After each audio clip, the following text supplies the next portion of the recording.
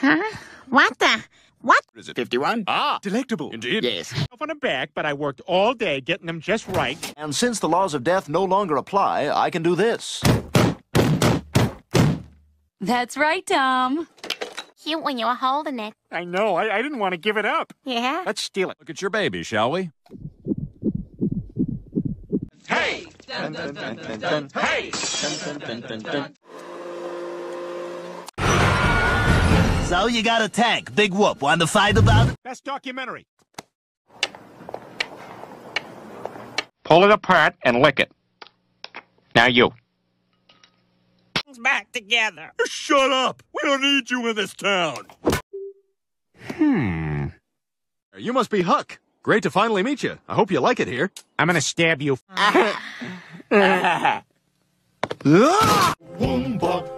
But watch out, we got some bad roaches here. Oh, you've done it. You've made me 1930s work whistle angry.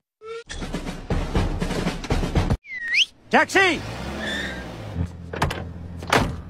For a look at how locals are dealing with the imminent disaster. Tricia? Diane, I'm here. You think you could do that? Sure, all we gotta do is get you a little fixed up. You know, get your hair cut, give you good clean. Freeze!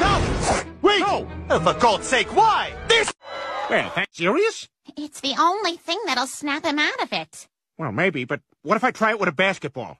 Oh, wait! Excuse me, I believe I was next. Uh, step aside, lady. Well, Lois, It's Slenderman! kill yourself. asked you to jump off a building, would you do that too? Did it? No, I'm just using that as an example of. Listen. What do we got brewing in here? I was walking by when I picked up the smell of 11 herbs and spice. Hey, is your refrigerator running? Yes, it is. Are your doors unlocked?